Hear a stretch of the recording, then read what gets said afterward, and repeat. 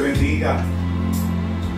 Hermosa mañana del Señor para adorar y para exaltar su nombre. Aleluya. Qué hermoso. Qué hermoso. Siempre diré lo mismo allá en la iglesia o acá. Eh, el reto que conlleva luego de estar unido en alabanza, adorando al Señor, pues pasar a, lo próximo, que es eh, impartir la palabra. Vamos, muchas cositas que están aconteciendo, las estaremos compartiendo a través del mensaje, pero vamos a ella.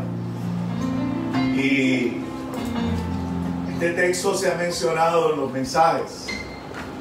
Así que de alguna manera permanecemos en ello. Hemos aprendido a creer, hemos, hemos sido enseñados que cuando Dios insiste en algo es porque aún no lo hemos entendido. Así que vaya conmigo a la primera carta de Pedro, capítulo 5. Primera carta de Pedro, capítulo 5. Y vamos al versículo 6 adelante. Vamos a estar dándole lectura a varios de estos versículos y discutiéndolos para pasar a una a un ejemplo al respecto. Dice así la palabra del Señor. Si ya usted lo tiene conmigo en primera de Pedro, capítulo 5, versículo 6. Dice así en el nombre de nuestro Señor y Salvador Jesucristo. Humillaos, pues, bajo la poderosa mano de Dios, para que Él os exalte cuando fuere tiempo, echando toda vuestra ansiedad sobre Él, porque Él tiene cuidado de vosotros. Sed sobrios y velad, porque vuestro adversario el diablo, como león rugiente anda alrededor, buscando a quien devorar, al cual resistir firmes en la fe, sabiendo que, que los mismos padecimientos se van cumpliendo en vuestros hermanos en todo el mundo. Mas el Dios de toda gracia que os llamó a su gloria eterna en Jesucristo, después que hayáis padecido un poco de tiempo, Él mismo os perfeccione, afirme, fortalezca y establezca. Padre, gracias por tu palabra. Tu palabra es viva, tu palabra es eficaz, tu palabra no retorna tras vacío. Tu palabra hace aquello para lo cual tú le envías. Señor, ministra la necesidad del pueblo. Que salgamos victoriosos en esta enseñanza, fortalecidos en ella. Como termina la lectura, establecidos por ella. Tuya será siempre la gloria, el honor y la alabanza. En el nombre de Jesús. Amén, Señor. Amén. Corresponde, puede sentarse y siendo el último domingo de mes, pues todos los niños pasan a su reunión. Bueno, mencioné y comencé eh, diciendo que hay muchas cosas que están ocurriendo de las ya conocidas. Amanece en los periódicos hoy tratando de decirle a Puerto Rico que se coló, que se filtró un borrador y dentro de las emociones que rápido se difunden, eh, van a querer restablecer las artes, eh, todo lo que conlleva teatro, cines, eh, la economía, la venta de autos, bienes raíces, banca, y de repente aparecen en medio, pues los servicios religiosos no se mencionan. Nosotros llevamos un tiempo ante este escenario que, le estamos diciendo a la iglesia, cuidado, cuidado con lo que escuchan, no solamente en el plano evangélico, sino en el secular. Cuidado con las noticias que se están plasmando. ¿Por qué? Porque las noticias, las noticias están siendo influenciadas en alguna que otra dirección. El mejor postor se lleva eh, el esfuerzo y el enfoque. Quiere decir entonces que en vez de argumentar, en vez de tratar eh, de convertirme en un politólogo, eh, en algún periodista, en algún economista, usted y yo nos tenemos que esconder. Y ha sido el mensaje hasta el día de hoy. Aprovechar el tiempo, disciplinarme en el Señor, aburrido por demás, sí, para el ser humano que no está consono con la palabra, es aburrido. Y yo deseo romper eso contigo. La única manera que tengo es predicando la palabra que no retorna tras vacía y provoca en nosotros el cambio que necesitamos. Eso es lo único que podemos hacer. Sabes, el, miércoles, el viernes enfatizábamos el mensaje del Salmo 30. Salmo 30 habla de exaltación. El versículo 6 en esta mañana habla de exaltación si yo te trato de decir o te trato de enfocar o te trato de ministrar, de llevar de lo que el Espíritu trata conmigo, y te estoy diciendo escóndete, a la hora de esconderte, tú tienes que entender qué es lo que Dios va a hacer contigo. Y decíamos que lejos de imitar al mundo, cuando Dios habla de exaltación, está hablando de sacarnos de las aguas, de sacarnos del lodo cenagoso. Y decíamos una serie de ejemplos. Quiere decir que la exaltación a la que Dios me lleva es una que el mundo no conoce. Es una que el mundo no entiende, pero que la iglesia tiene que entender. Tú y yo tenemos que entender que cuando Dios me dice te voy a exaltar, es que me está sacando de aquello que Él vino a destruir, de aquello que Él vino a deshacer, de aquello que Él vino a revelar una vez caminó por esta tierra. No se trata de fama, no se trata de éxito, no se trata de ninguna otra cosa.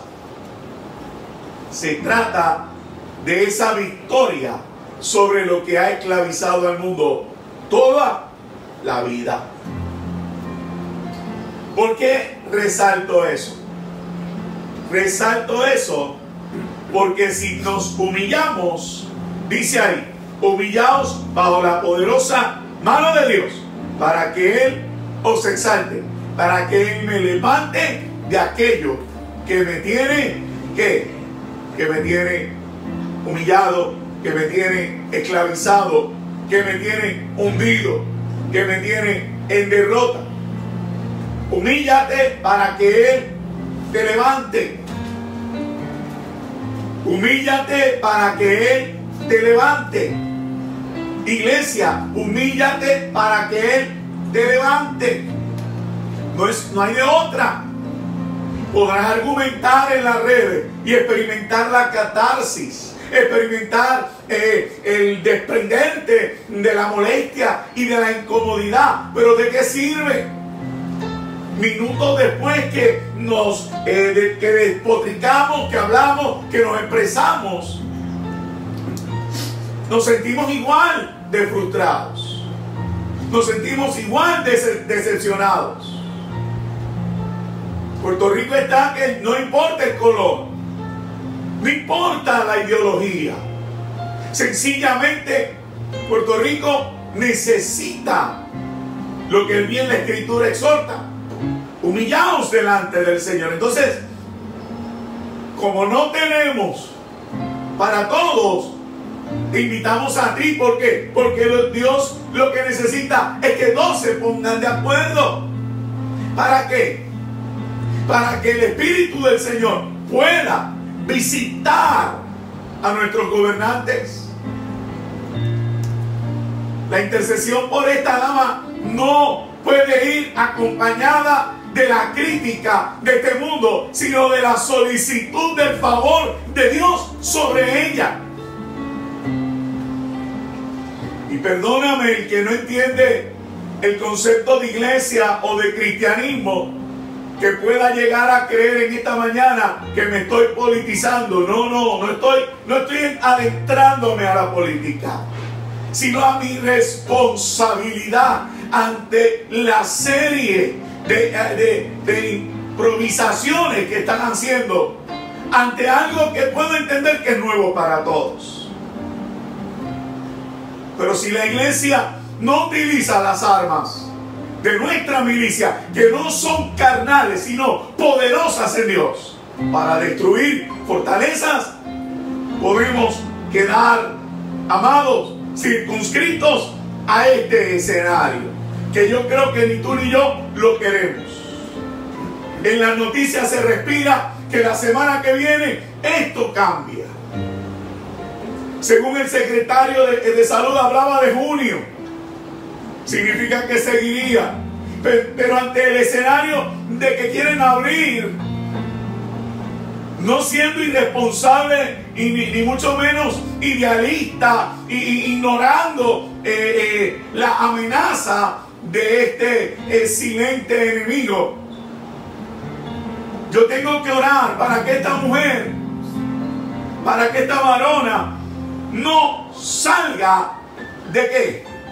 del entendimiento de que la iglesia necesita también estar presente en el escenario.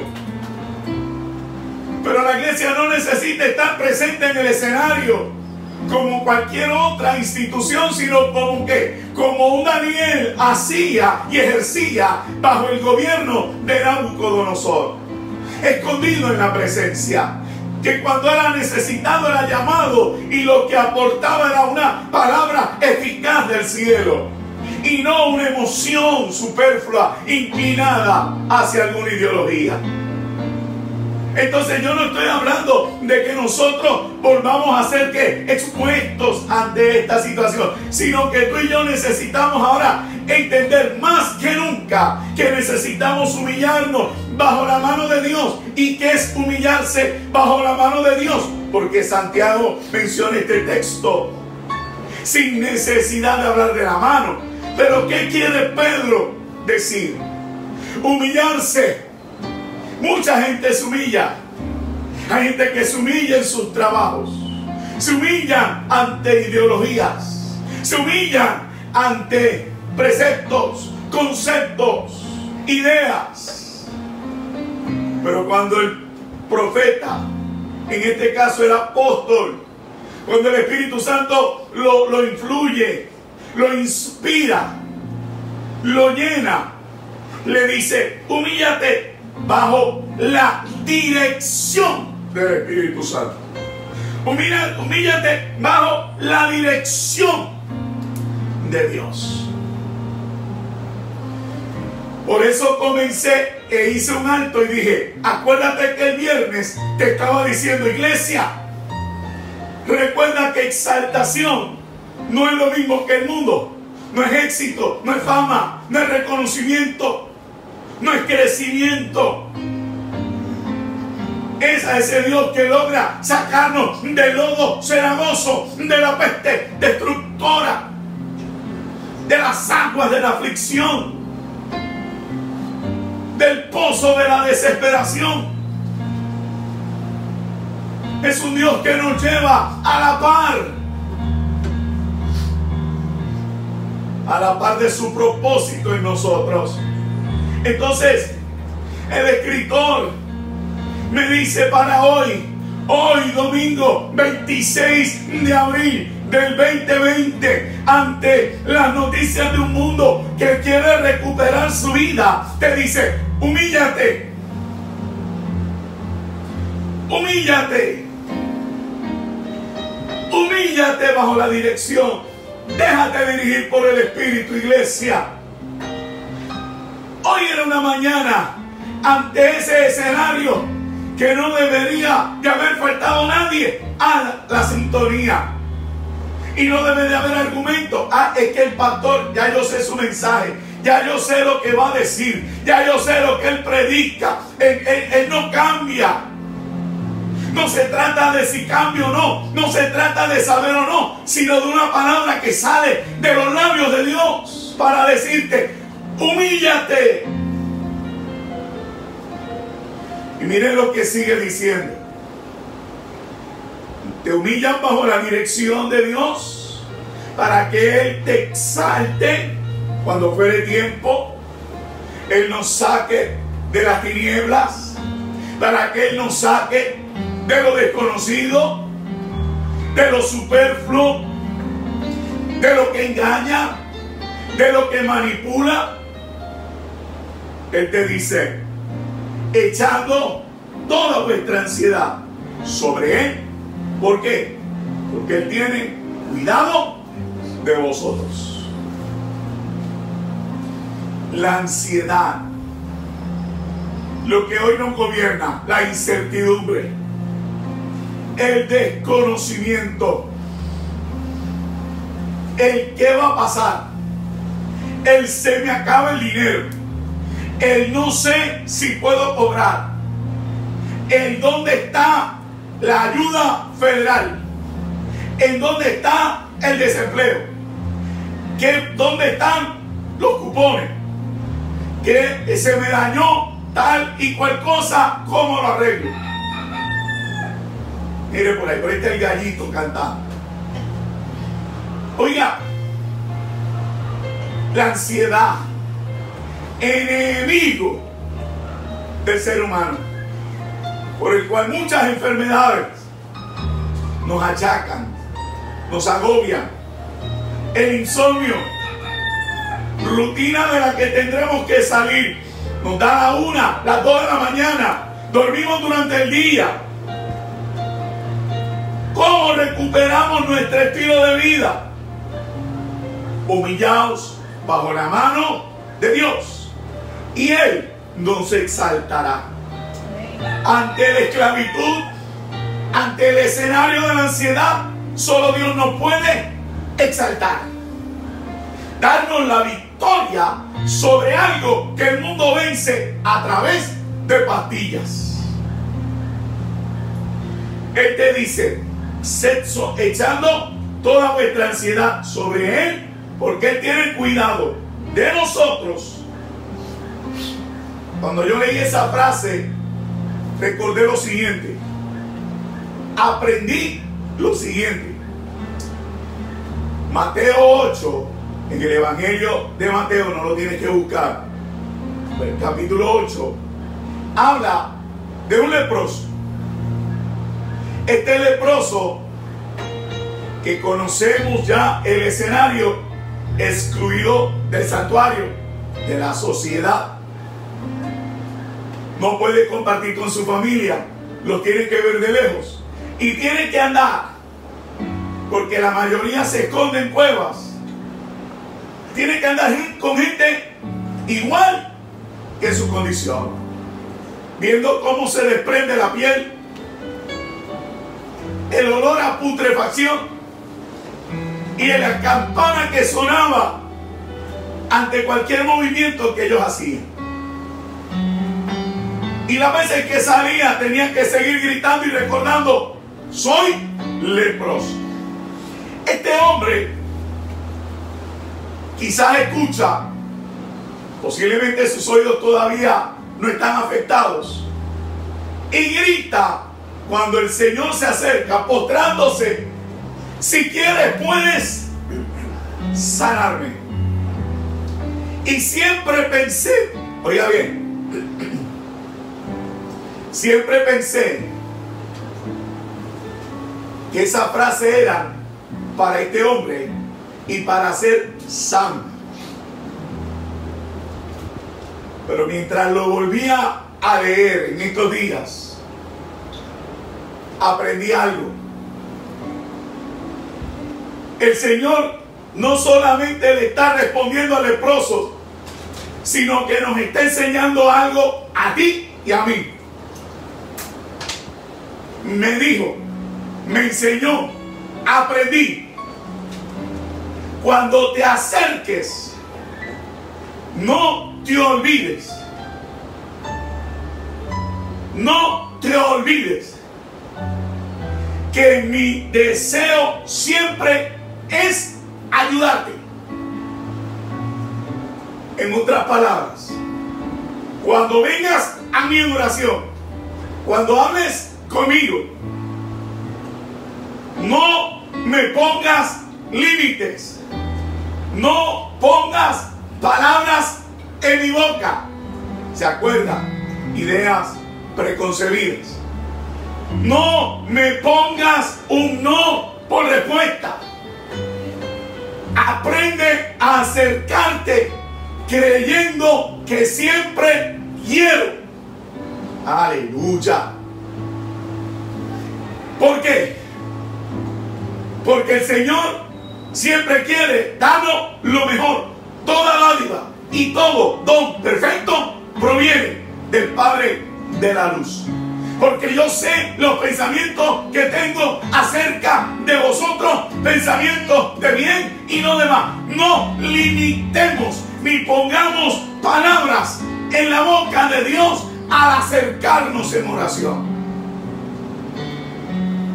Aprende que Dios siempre quiere ahora. Yendo con esa actitud, cuando Él te diga no, podrás entender. Porque le has permitido hablar yendo con esa actitud, si te dice espera, podrás entender. Yendo con esa actitud, si guarda silencio, podrás entender.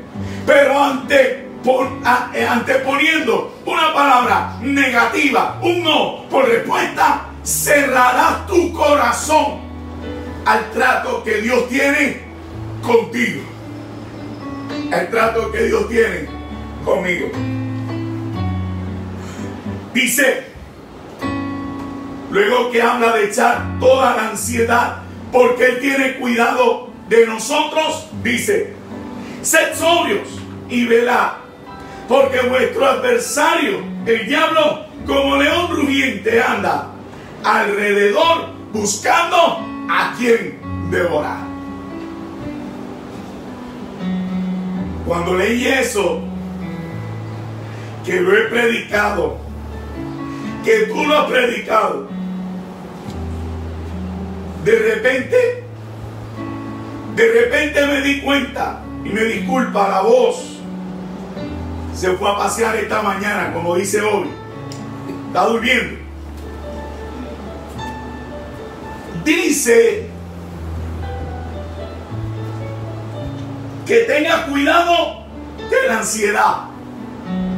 Ten cuidado de la ansiedad y te dice, vea al enemigo. ¿Sabes lo que Dios quiere enseñarte? El enemigo no se te va a presentar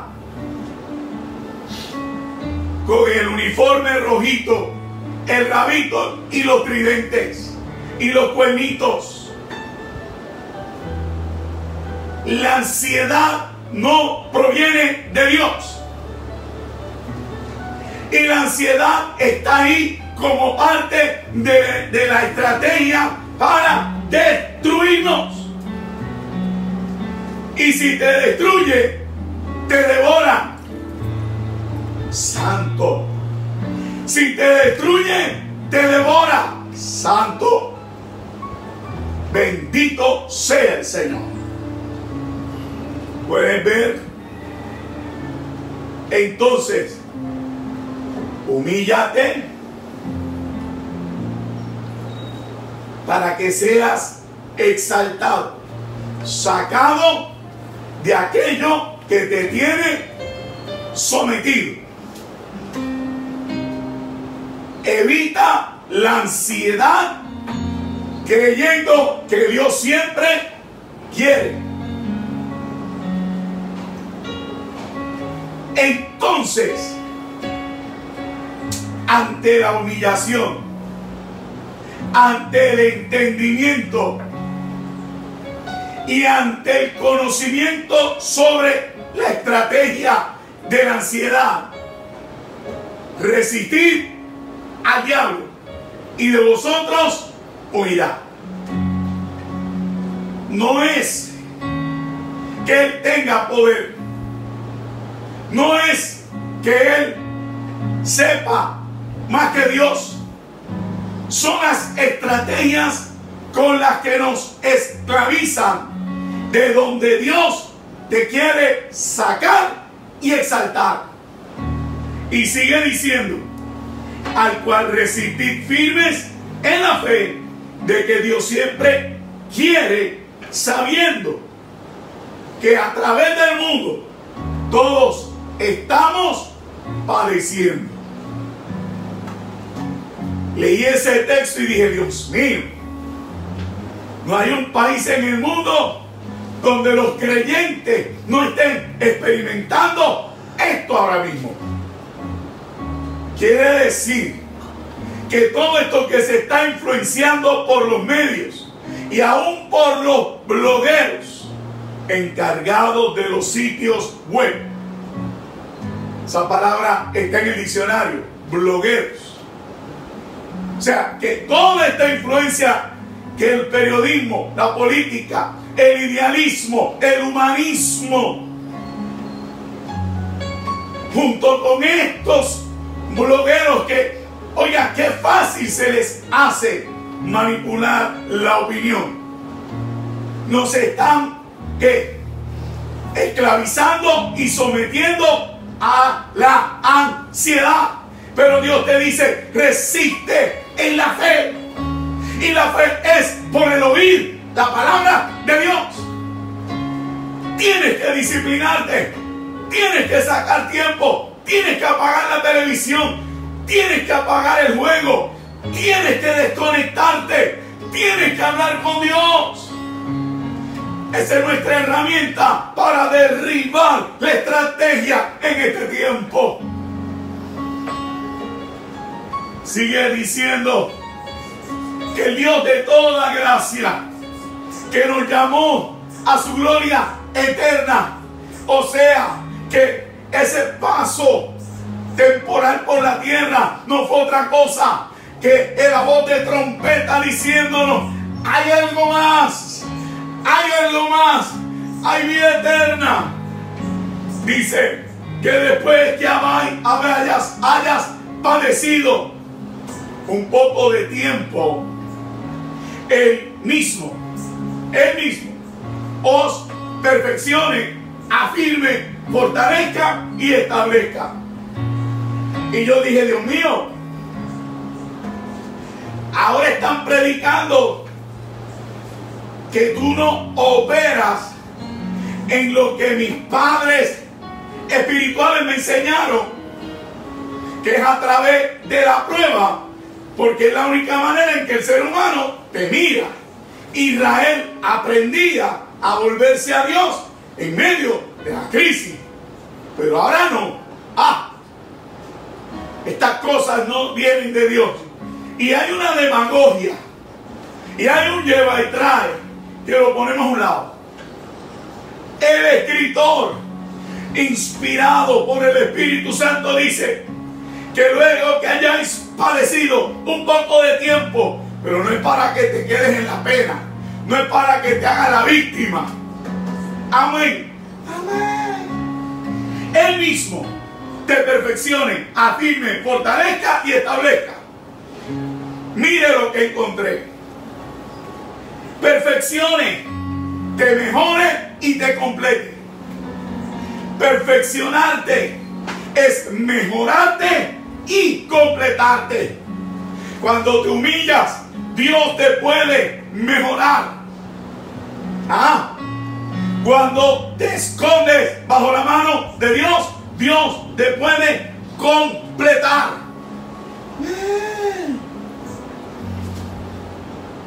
Afirme. ¿Sabes qué? Te asegure. Yo dije, Dios mío, qué poderoso.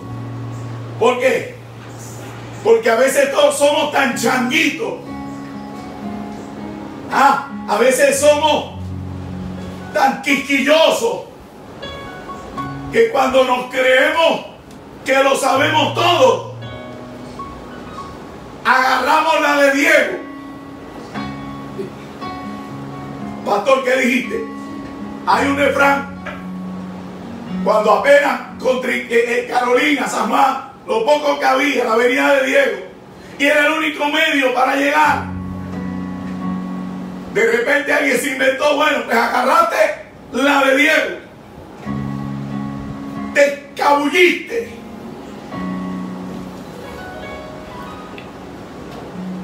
Dios te dice, cuando tú te humillas y vienes ante mí creyendo que yo quiero y yo te exalto, no solo te saco de Abal, Kenda, no solo te saco del lodo cenagoso, sino que te completo, te mejoro y te aseguro te aseguro. O sea, se pone en mí la estabilidad que necesito. Él dice, te fortalece. La próxima, fortalezca. ¿Sabe qué es fortalecer? Me confirme. O sea, yo no tengo que buscar pruebas fuera de Él. Yo no tengo que esperar la opinión del mundo. Yo no tengo que esperar la opinión de otros, de nadie. Porque porque el Espíritu se encarga de confirmarte. Entonces Dios te dice, te perfecciono, te afirmo, fortalezco, te mejoro, te aseguro y te confirmo. Falta uno. Establezca será lo mismo que asegurar. No, no, me fascina. Oye, tanto que yo le huía al español. Tanto que, le, que huía a todas esas clases, ¿sí? Medio anormal. Me fascinaba la matemática, que la mayoría le huye y le huía al español, que creo que hoy en día también le huyen. Pero eso es tema de otro costal. La última dice, establezca.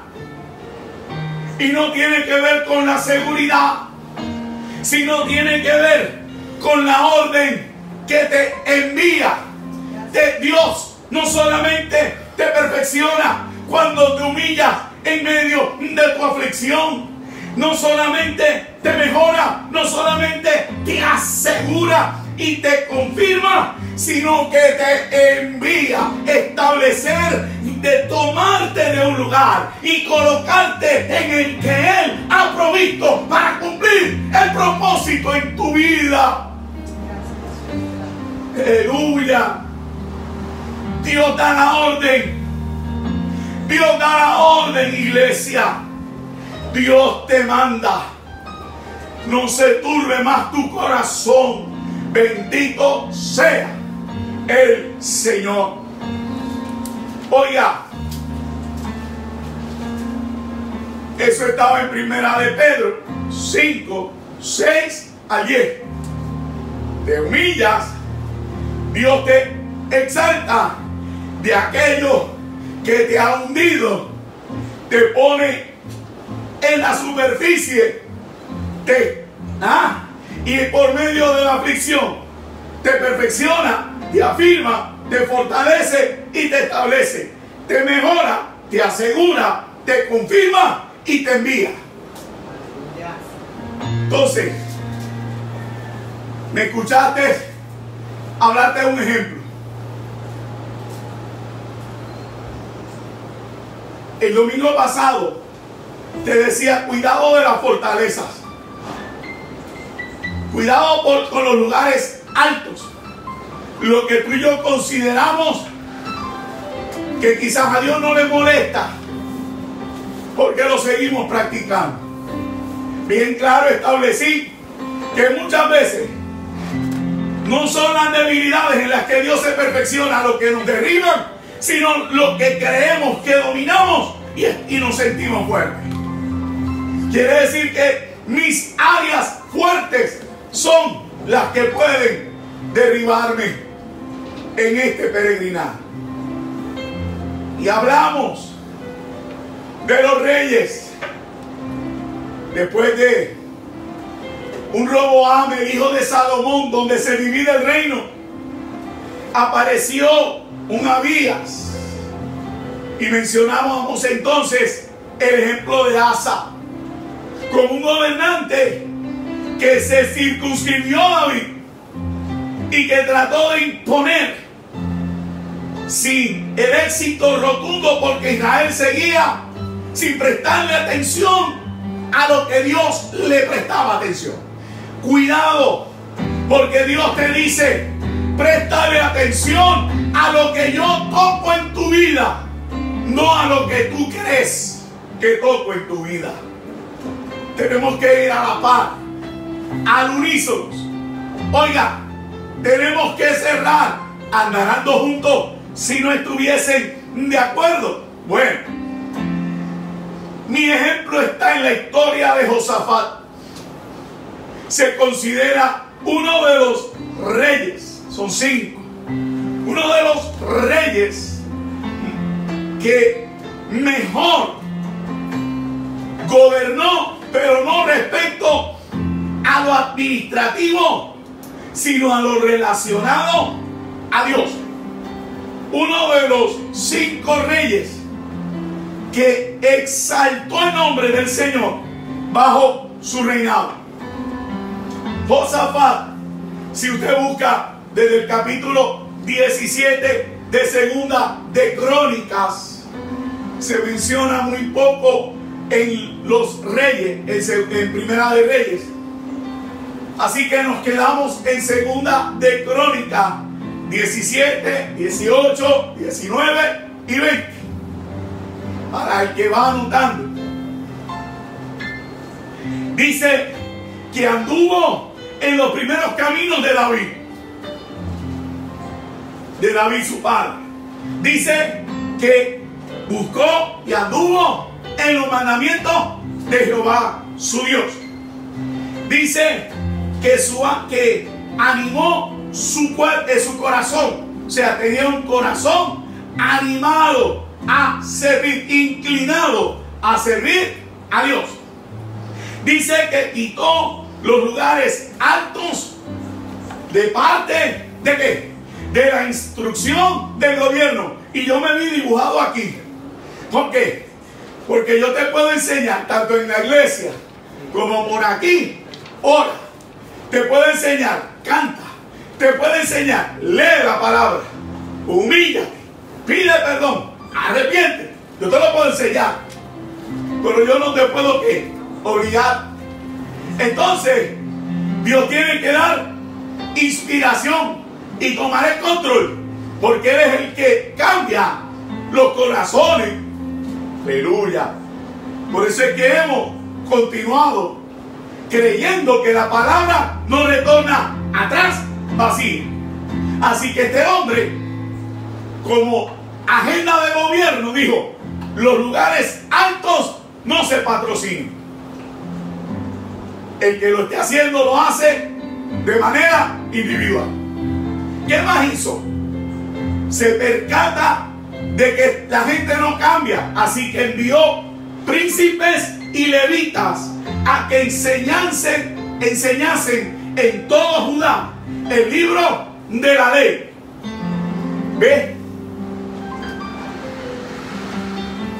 Se tomó decisión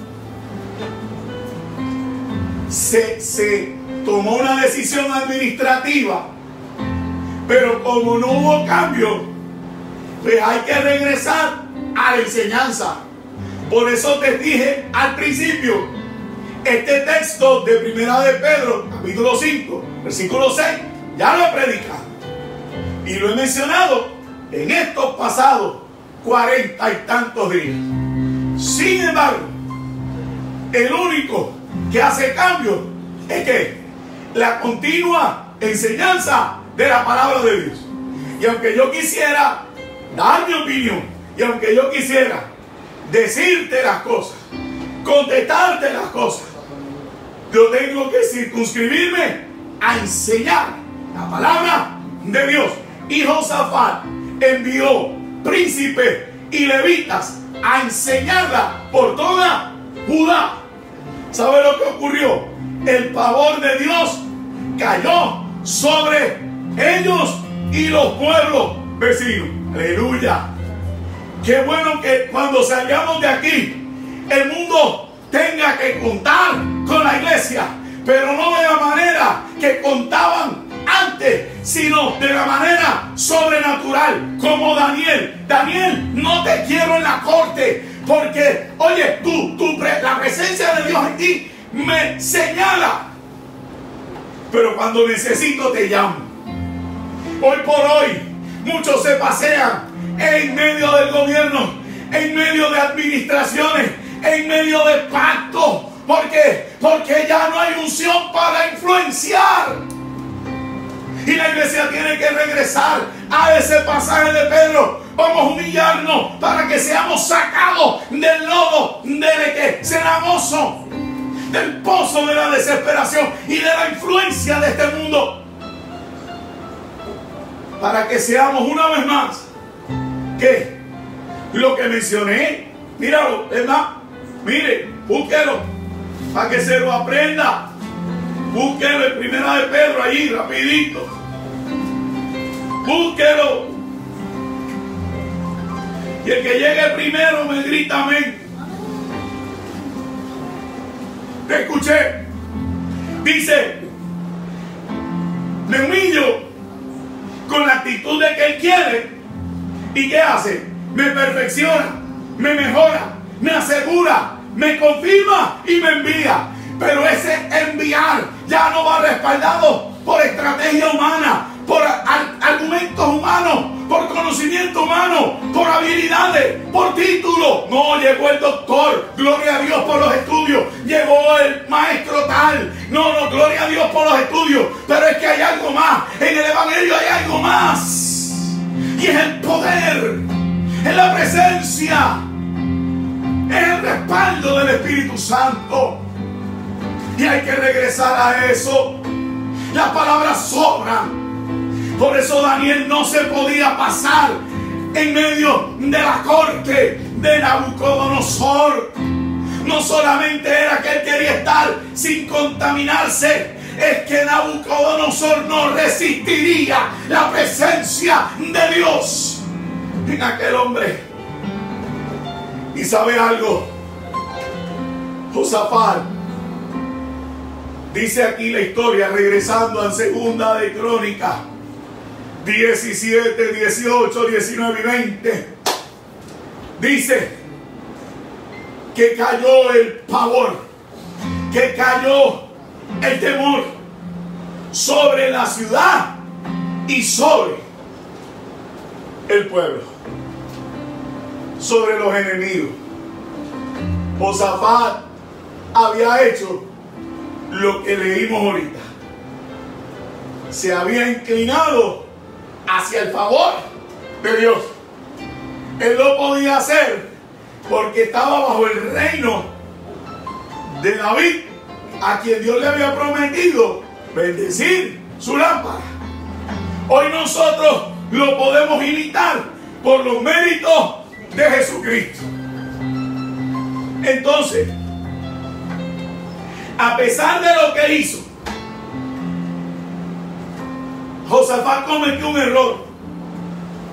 Cometemos errores.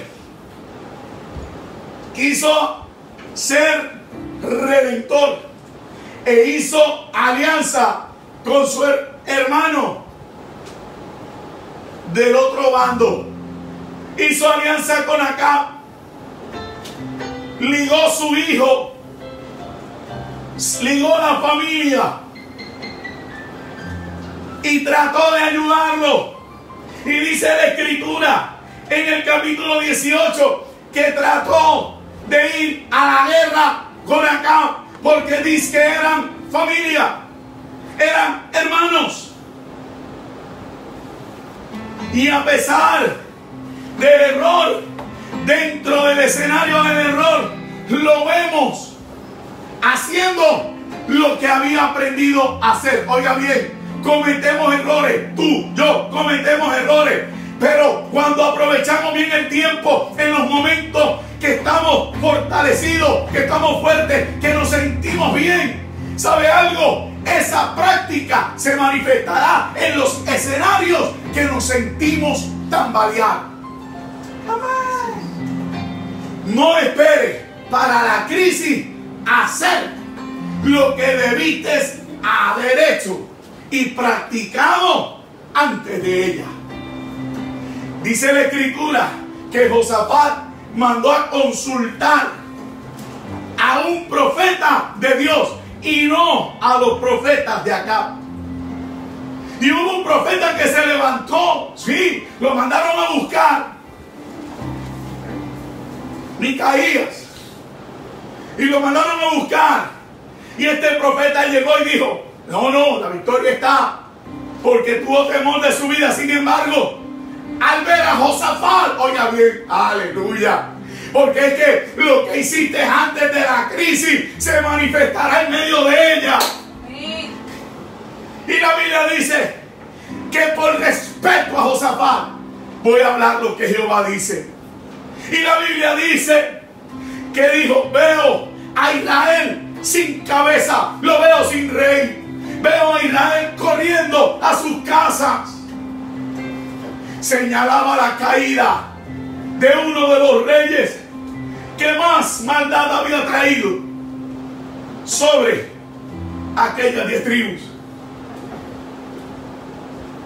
Josafat fue a la batalla.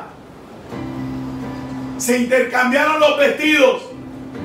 De alguna manera los enemigos sabían quién era Josafat. Aleluya, te tengo noticia. No solamente lo que hiciste antes de la crisis te permite seguir delante del Señor en medio del error, en medio de la equivocación, sino que aún los enemigos te seguirán respetando aunque haya caído en ese error.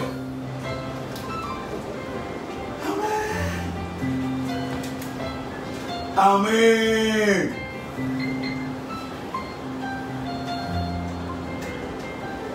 La vida de Josafat salió airosa. Acá muere. Josafat regresa a su casa. El profeta Jehú llega y le dice, oye, al impío ayudaste y amas a los que aborrecen a Jehová. ¿Sabe algo? No podemos jugar al, al redentor. No podemos jugar.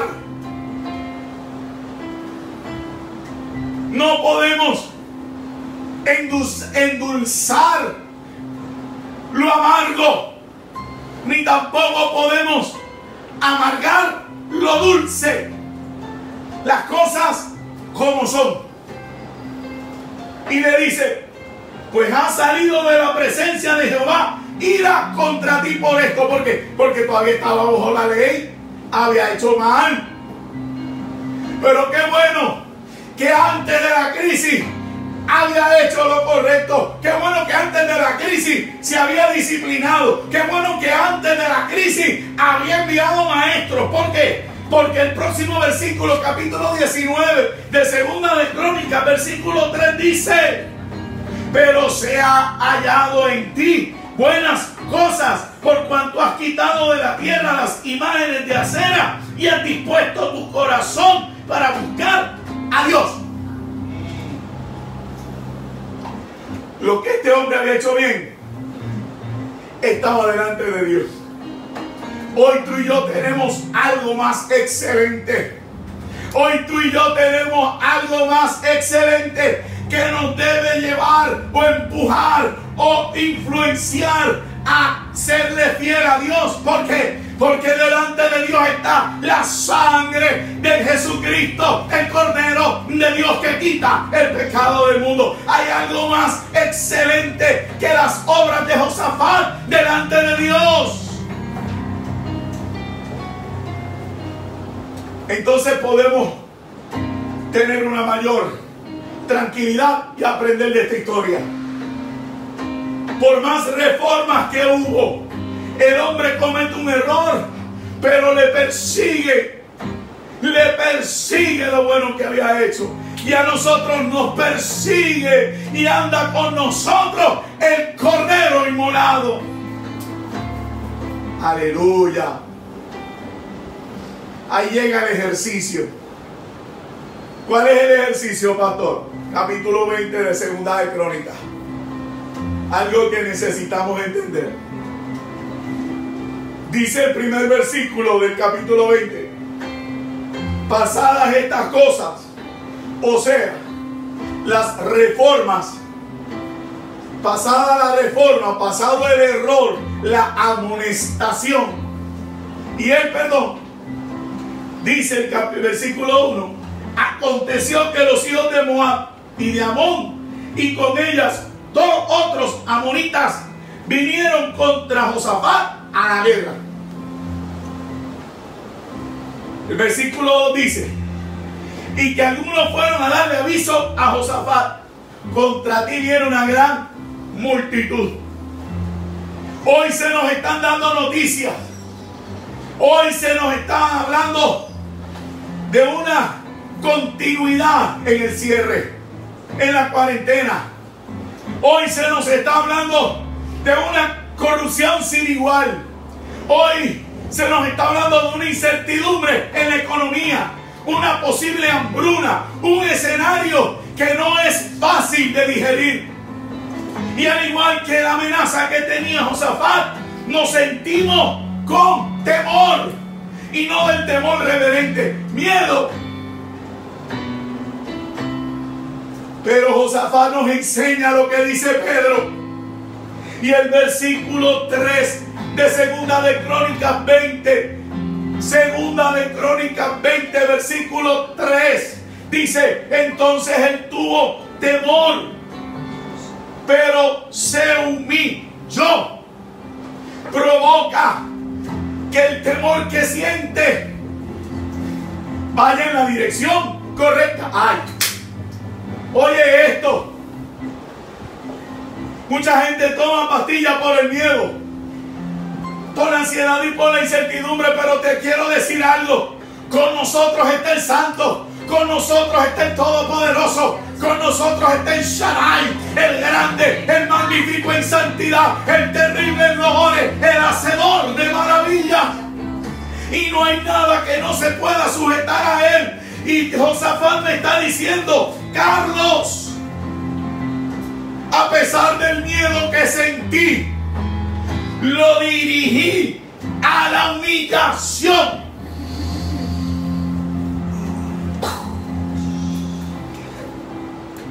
You got it. Normalmente, la ansiedad y el miedo nos gobiernan. Provocan que nos aislemos. Provocan la de Diego. Josafat me está diciendo, sentí temor. Ah, pero me humillé. Quiere decir que sigo teniendo avance. Sigo teniendo el control. Se humilló y consultó. ¿Qué voy a hacer? No se lamentó. No se victimizó. No se quejó. Oiga, si entendiste primero de Pedro, esto es lo que Dios está esperando que hoy tomes el control en el nombre de Jesús. Que hoy asuma la autoridad del cielo y termines postrado en tierra. Porque Dios nos sigue diciendo desde los cielos, yo quiero sanarlos. Yo quiero sanarlos. Le digo al leproso, yo quiero. Nos dice a nosotros, yo quiero. Dice que se humilló, que consultó. Versículo 4 dice que convocó una asamblea lo que estamos queriendo hacer, lo que se supone que hagamos el domingo que viene, independientemente estemos en el templo o no. Termina esta cuarentena, termina el domingo, así que estaremos por aquí otra vez. Pero se supone que tú estés allí desde temprano a las seis conmigo, ayunando. ¿Por qué? Porque hay convocación, hay santa convocación. Se reunieron para pedir socorro. Yo no voy a pedir sino socorro, porque en el socorro estará tu salud, estará tu familia, estará tu finanza. Ay, pastores, que yo trabajo. Es que tenemos que romper eso. Esto es para el que trabaja en casa, el que trabaja afuera. Esto es para el que está desempleado. Esto es para ti, esto es para mí. Esto no es para señalar quién está descansado o no, quién necesita o no. Todos nos tenemos que parar en la brecha porque dice que todo Judá se reunió. Entonces Josafat se puso de pie. Por eso es que estamos de pie. Estamos de pie. Porque Josafat se puso de pie. Porque te tengo que decir lo que Dios dice. Entre los millares y millares de profetas, te tengo que decir lo que Dios nos dice a nosotros. A través de su palabra. Dice que la oración que hizo Josafat es una de las más hermosas y completas en toda la historia bíblica. He dicho ese argumento antes. Dice que fue tan poderosa recordando las promesas, recordando lo que hicieron sus padres hasta llegar a los enemigos. Dice que incluso dijo los enemigos, dicen que yo les quité cuando tú fuiste el que le quitaste. Es una, una, una oración inspirada por el Espíritu. Y en medio de ellos había un profeta. Y ya mire, tranquilo, que ya voy por el versículo 15 y estamos, son 30. Y no los veo todos. Sigue tranquilo. Dice, después te vas a almorzar. Hoy no hay venta en la cocina. Así que tienes que salir. ¿A dónde? De la plaza de la sala. Te vas a la plaza de la cocina. Y si quieres pasear más, vete a la plaza del comedor. Dice que el profeta habló. Había uno, un levita de los hijos de Asaf, sobre el cual vino el Espíritu de Jehová en medio de la reunión, versículo 14. Y dijo, oíd Judá y todos vosotros moradores de Jerusalén y tú rey Josafat, Jehová os dice, no temáis ni os amedrentéis delante de esta multitud tan grande, porque no es vuestra la guerra, sino de Dios. Desde el día que viniste al Evangelio, la guerra es de Dios. No son tus argumentos, ni los míos, no es tu crítica, ni la mía, no es el señalamiento tuyo ni el mío. Es Dios, es Dios el que pelea por nosotros y nos va a guardar como fue guardado Israel. Allá en Egipto, en la tierra de Gosén, mientras Egipto caía esclavo de la plaga, destruido por la plaga, Gosén prosperaba. Y la iglesia que le crea al Señor prevalecerá en medio de la pandemia. Prevalecerá en medio de la bruna. Prevalecerá en medio de la economía. caerán mil y diez mil, mas a ti no llegarán. Aleluya. Aleluya. No es lo mismo decir los textos por decirlo que ser dirigido por el Espíritu. Y si te humillas, caerán mil y diez mil. Pero si no te humillas, te caes tú. Así de fácil. Dice, no habrá para que vosotros peleéis, porque no es vuestra la guerra, sino de Dios. Mañana descenderéis. La persona que se humilla con respecto al mundo está en la altura. Lo anotó. La persona que se humilla con respecto al mundo está en la altura. Lo que pasa es que en tu micro, a tu alrededor, piensas que el que está abajo eres tú. Pero en el reino es diferente. Los que se humillan están por encima del mundo. No hay lugar más alto que estar a los pies del Señor. Aleluya. Bendito sea el Señor. Mañana descenderéis contra ellos. He aquí, ellos subirán, pero tú descenderás. Ellos tratarán de subir. Nosotros vamos a descender. ¿Entiendes tu lugar? No habrá para que peleéis vosotros. Versículo 17. Paraos y estad quietos y ved la salvación de Jehová. El libro de lamentaciones añade, callaos. Calla. Calla. No juegues el juego. Lo voy a decir de esta manera. No me gusta mucho. Pero lo voy a decir. Pues no me gusta mencionarlo. No le juegues el juego al enemigo. No le juegues el juego. No te dejes llevar.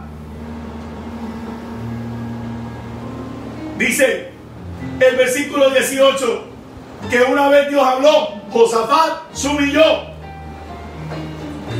Josafat se humilló. Y se levantaron. Dice, Así mismo todo Judá y los moradores de Jerusalén se postraron y adoraron a Jehová, como estoy convocando el domingo que viene. Y se levantaron los levitas de los hijos de Coat y los hijos de Coré para alabar el nombre del Señor con voz fuerte y alta. Dice que cuando se levantaron por la mañana, salieron al desierto de Tecoa. Cuando te levantas de una experiencia sobrenatural, lo primero que ves es lo árido del mundo. Porque el mundo va a robarte o va a querer robarte la experiencia. Oíste. Josafat estaba en la experiencia. Josafat estaba en la presencia. Josafat estaba escuchando a Dios. Y cuando salió de la experiencia, se topó con el desierto de Tecoa, con lo árido de la vida, con lo seco, con donde no hay vida, donde no hay esperanza, donde los pensamientos no aciertan, donde te confunde el este, el norte, el sur y el oeste.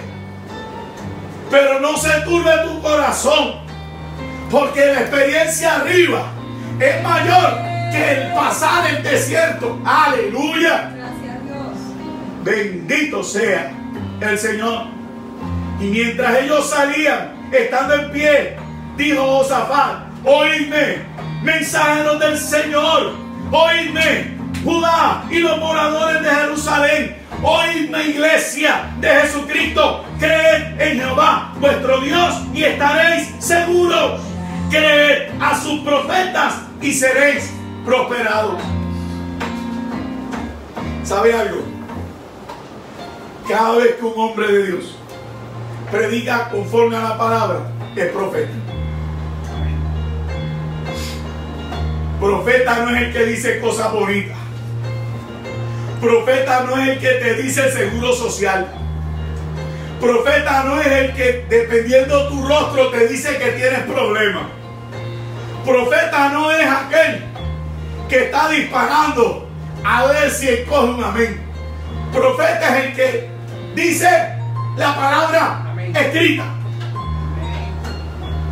Y Dios te dice hoy, creer a quién? A Jehová. Y creer a su profeta. Cree esta palabra. Cree esta palabra.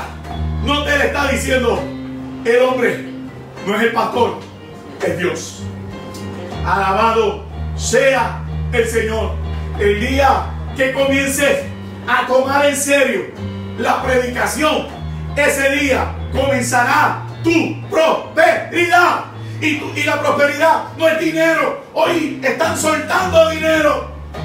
Pero a muchos se le va como agua entre las manos. Dice, y ha habido consejo con el pueblo. Puso algunos que cantasen. Yo estoy loco por volver a cantar. Dice que los puso vestidos de ornamentos. En la antigüedad se usaban ornamentos. Y mientras salía la gente armada, los mandó a cantar. Es el primer ejército que pone primero los cantones para luego poner las armas. Hoy Dios nos da la misma instrucción. Cantemos al Señor y humillémonos para que seamos exaltados.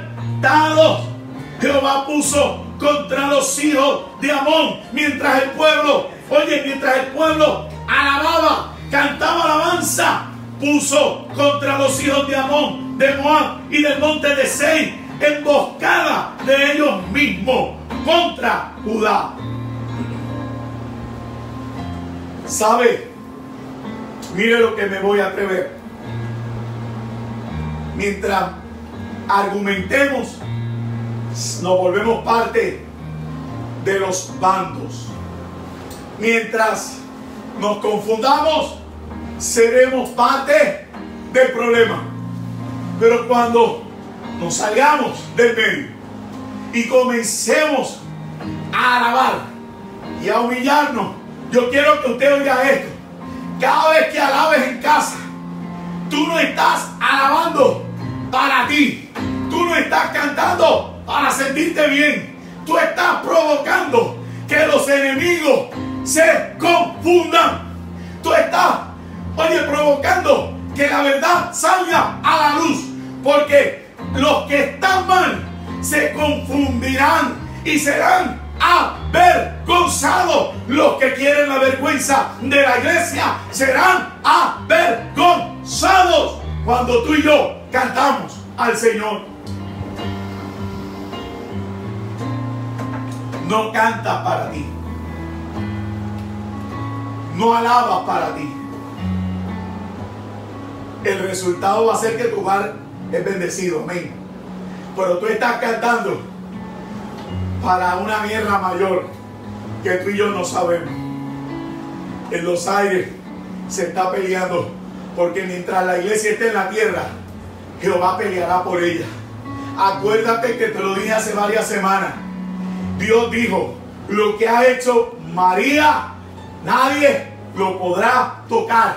Dijo, dejadla. Y yo te dije de parte del Espíritu, Dios está dando esa orden a la iglesia representada en María.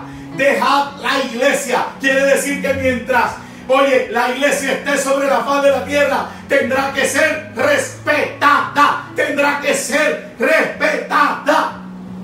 Pero la iglesia tiene que regresar a los pies del maestro, que es la mejor parte y nadie se la podrá quitar. Hay que volver a eso y no caer en la trampa de todas estas personas. Oiga, no importa que digan la verdad. Por ahí hay uno apartado. Dice la verdad. Tiene evidencia. Pero no está bien. ¿Por qué? Porque ya el Espíritu de Dios no opera en. Entonces, si le hacemos caso, si nos dejamos llevar, le hacemos más daño. Porque apoyamos lo que hizo Josafat, la alianza con Acab. No apoyes al mundo. No apoyes al mundo. Dice que una vez se confundieron y ya acabé amado. Dice que Josafat solo terminó de descender a recuperar el botín. No hubo para que pelearan. Ellos mismos se mataron. Los que hoy se levantan en contra de la iglesia, ellos mismos se turbarán y caerán. La ventaja en este tiempo es que pueden venir y ser parte de la iglesia si se humillan ante el Señor. Versículo 27 dice, y todo Judá y los de Jerusalén y Josafat a la cabeza de ellos volvieron para regresar a Jerusalén gozosos, porque Jehová les había dado gozo, librándolos de sus enemigos. Señor nos quiere dar la victoria. Pero si yo no he cambiado el mensaje por algo, siempre hay una excusa, siempre hay un razonamiento, siempre hay una oración superflua. Y Dios te dice hoy, déjame sacarte de las aguas, el lodo de esa del pecado, del pozo de la desesperación. Déjame exaltarte. Déjame colocarte en el lugar que quiero. Déjame trabajar contigo. Déjame bendecirte. Pero para eso necesitamos lo que hizo Josafat. La oración unida.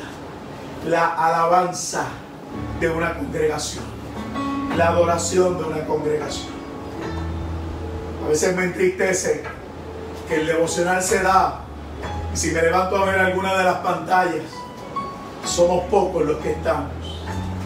¿Por qué? Porque la vida nos sigue enredando, aún habiéndonos aislado. Yo te exhorto a que seas parte, a que puedas entender esta palabra. Voy a orar sencillamente para que entiendas esta palabra, para que se haga rema en tu vida para que se abra el entendimiento de ella, para que pueda ser parte tuya y en el próximo servicio digas presente y todos provoquemos una victoria como la de Josafat sobre nuestros enemigos. No tenemos una lucha contra Moab, contra Amón, no, no, contra los amalecitas, no. Nuestra lucha en contra de la enfermedad, de la plaga, de, la politiquería, de la corrupción, en contra de? De nuestras actitudes, en contra de nuestros hábitos, en contra de una naturaleza dañada, corrompida, que siempre nos distancia del Señor. Y esa victoria solo nos la da Jesucristo. Vamos a orar. Si no tienes al Señor, si me ven más adelante, si me estás viendo ahora, insisto, haz la oración conmigo. Señor Jesús, gracias por la salvación. Gracias por morir en la cruz. Gracias por perdonar mis pecados. Los confieso delante de ti. He sido un pecador. Escribe mi nombre en el libro de la vida. Lléname de tu espíritu y ayúdame a echar raíces donde tú me vayas a colocar. Si la hiciste, mantente unido. En la página hay otros mensajes. Instruyete, lee la Biblia, lee los salmos, lee el Evangelio de Juan, el Evangelio a la iglesia. Iglesia, oramos para volver a cantar todos al unísono, unidos delante del Señor. Padre, en esta mañana, estos minutos que restan de esta hermosa mañana, te pido que bendigas a aquel que me acompañó en este día, aquel que me acompañará más tarde, Señor. Padre, en el nombre de Jesús, que aprendamos a que a humillarnos a lo que nos concierne, que nos podamos someter y rendir a tu voluntad. Espíritu Santo, trata con nosotros en la intimidad, en, ese reservarnos en nuestros hogares, en ese habernos aislado e interrumpido en nuestra vida y provoca el cambio provoca la unidad, provoca la estabilidad. Tuya siempre será la gloria, el honor y la alabanza. En el nombre de Jesús. Amén. Dios te bendiga y Dios te guarde.